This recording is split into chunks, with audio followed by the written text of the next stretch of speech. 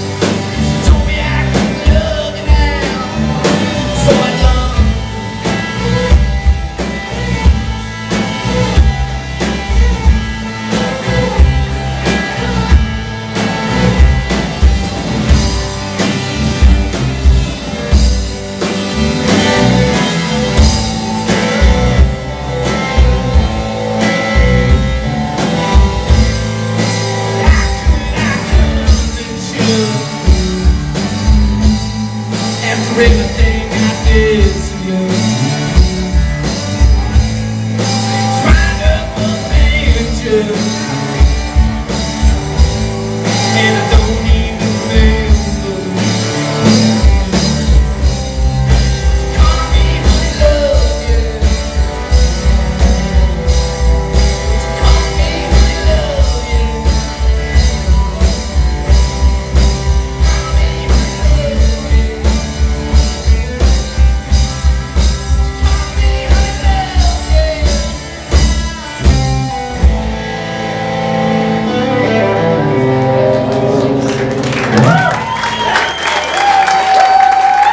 casa